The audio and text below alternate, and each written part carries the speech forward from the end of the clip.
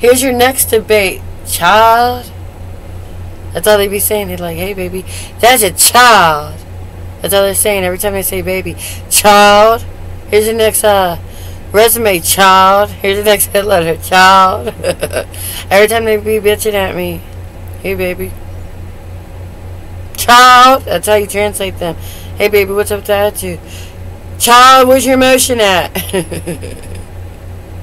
Child. This is messed up. Here's the next argument. You want to debate it? So how'd that fake government go with your fake school? Did it match? that is a million dollar hit letter while I is here. That is a fossil. This won't make any sense. That is just this galaxy. Now, why was I pointing back to this galaxy? No other.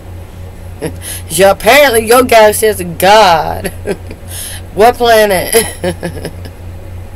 Did you hear about Planetarian at the power plant? They got a communicator. It is an evil Andros.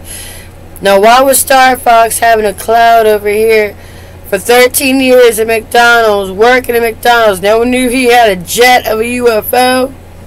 Do y'all know? No, that's a no airplane. This is 1996, the insurrection. How's your insurance doing for you? Now, why'd that happen to y'all and I didn't know about it? Let's reenact that. How's your reaction doing for that fake school, that fake government? La Plata High School is a fake school, just like that fake government. So I guess them two wrongs made a right, didn't it?